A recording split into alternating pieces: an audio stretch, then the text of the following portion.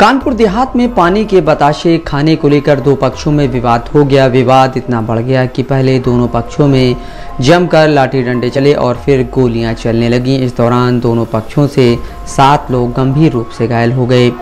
घायलों को जिला अस्पताल में इलाज के लिए भर्ती कराया गया। पुलिस ने मुकदमा दर्ज कर दोनों पक्षों के चार लोगों को गिरफ़्तार कर लिया है और अन्य आरोपियों की तलाश शुरू कर दी है।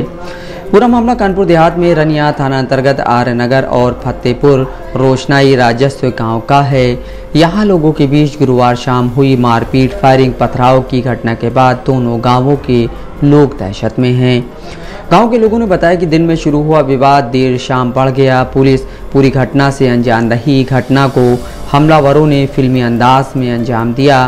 फायरिंग व पथराव के बाद गाँव में दहशत का माहौल है।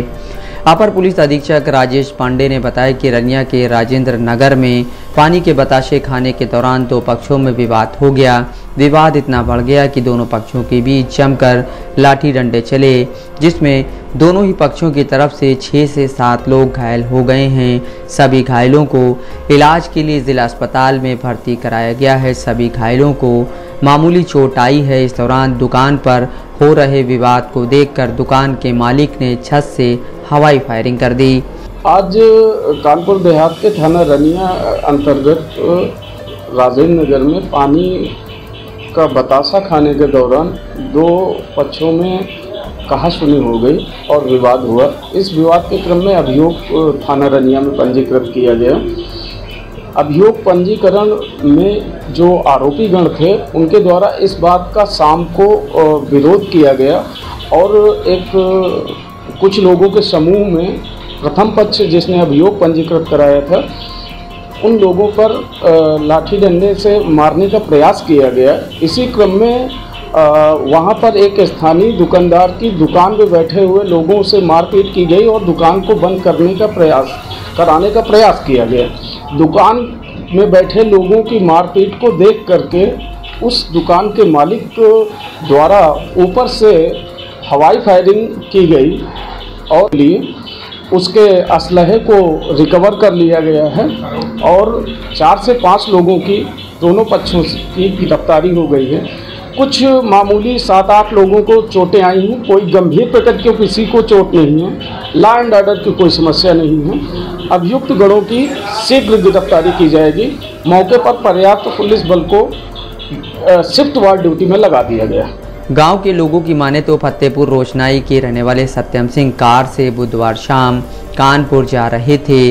राजेंद्रा चौराहा पर गाड़ी खड़ी करके वह पानी लेने के लिए उतरे उसी दौरान पूर्व में दोनों गाँव के युवकों के बीच कहासुनी के मामले को लेकर आर नगर के लोगों ने उसे मारपीट कर घायल कर दिया। इस मामले में सत्यम की माँ नीलम सिंह ने दीपू, हरिशंकर, लालू टंडिया, हरिकिशन, लालू, सुनील, गंगा सिंह, लल्लन कल्लुआ दस अज्ञात लोगों के खिलाफ रिपोर्ट दर्ज कराई थी। मारपीट के मामले में सत्यम सिंह की माँ नीलम की ओर से दर्ज कराई गई रिपोर्ट में पुलिस कार्रवाई करती तो शायद मामूली विवाद इतना बड़ा रूप न लेता। इसी वजह के चलते गुरुवार सुबह सत्यम व दूसरे पक्षों के लोगों के बीच टकराव की स्थिति बन गई। शाम पाँच बजे के करीब आर नगर प्रथम की महिलाएँ व कुछ लोग सड़क से निकल रहे फतेहपुर रोशनाई के लोगों को गाली गलौज करने लगी। इस बीच पहुँचे सत्यम सिंह से फिर मारपीट की गई। मारपीट की जानकारी पर फतेहपुर रोशनाई से काफ़ी संख्या में लोग जा पहुँचे और फिर पथराव लाठी डंडे व फायरिंग शुरू हो गई। विवाद में आरनगर प्रथम के रहने वाले राम जी उर्फ़ आनंद, बबली गुप्ता, रविकांत गुप्ता, छोटे गुप्ता, सौरभ, पीयूष गुप्ता, प्रीति गुप्ता, दिव्यांशी, कैलाशपुर पुलंदर के रहने वाले पंकज सिंह चौहान आरनगर प्रथम की रोहिणी एकता देवी, अंकिता सिंह, अंकित सिंह और एक अन्य घायल हो गए। अकबरपुर सीएससी में एक के बाद एक, तेरह घायल आ जाने की वजह से पूरे सीएससी में अंदर से लेकर बाहर तक अफरा तफरी का माहौल हो गया। सीएचसी के चारों तरफ़ स्ट्रेचर पर घायल लेटे रहे एक एक कर चिकित्सीय परीक्षण किया गया। इस बीच कुछ स्ट्रेचर व कुछ कुर्सी पर बैठ कर कराते रहे। इस बीच तहसीलदार पवन कुमार भी घायलों को देखने अस्पताल पहुँचे।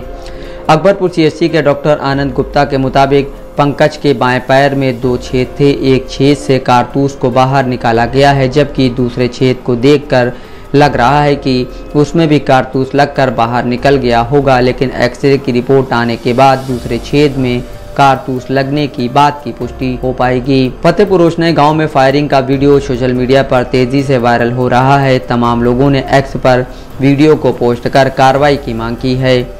लोकसभा चुनाव को पूरा कराने के लिए ज़िले का ज़्यादातर पुलिस बल गया हुआ है। अरनिया थाने में मात्र 8 से 10 पुलिसकर्मी ही थे। घटना की सूचना पर वह भी पहुँचे, लेकिन भीड़ को देखते हुए इतनी पुलिस नाकाफी थी। इसके बाद आसपास के थानों की पुलिस बुलाई गई। वहीं देर रात पुलिस बल तैनात कर दिया गया। गाँव की हर गतिविधि पर पुलिस नज़र रख रही है। आरनगर व फतेहपुर रोशनाई के लोगों के बीच हुई मारपीट व फायरिंग की घटना से जुड़े लोगों की धरपकड़ के लिए पुलिस देर रात तक इधर उधर दबिश मारती रही। गाँव के लोग भी दहशत के मारे घरों में दुबके रहे। रनिया थाना अध्यक्ष महेंद्र पटेल ने बताया कि गाँव में पुलिस बल मौजूद है। शांति व्यवस्था बनी है। मारपीट करने व फायरिंग करने वालों को चिन्हित कर लिया गया है। रिपोर्ट दर्ज कर कार्रवाई की जा रही है। नफीस अहमद, दस्तक लाइव न्यूज़।